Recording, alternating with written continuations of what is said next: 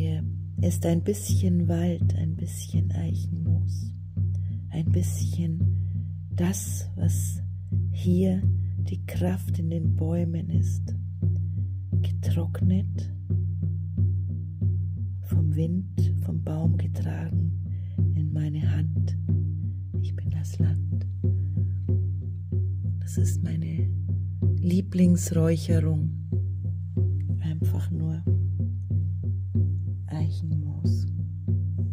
Manchmal auch Lindenmoos von den heiligen Linden am Veitsberg zum Beispiel. Oder Eichenmoos von der Kreuzeiche. Oder von der Muttereiche in Liechtenstein. Ja, es sind Geschenke des Waldes und es riecht für mich wie Heimat, wenn man es verräuchert. Man braucht nicht heiliger Stoff sozusagen.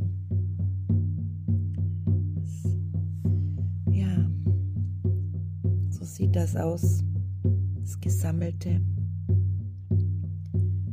gut verwahrte Waldsein verschiedenster heiliger Bäume unseres Landes. Ja, das ist, was ich unseren Hexen und Beschützern des Landes ähm, weitergebe. Sei das Land und nichts anderes.